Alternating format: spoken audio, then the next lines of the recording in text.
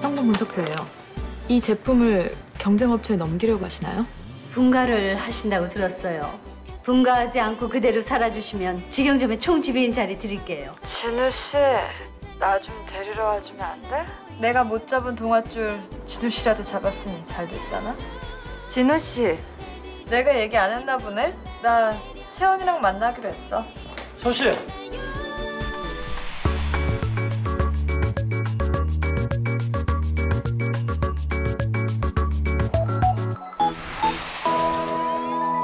KBS World.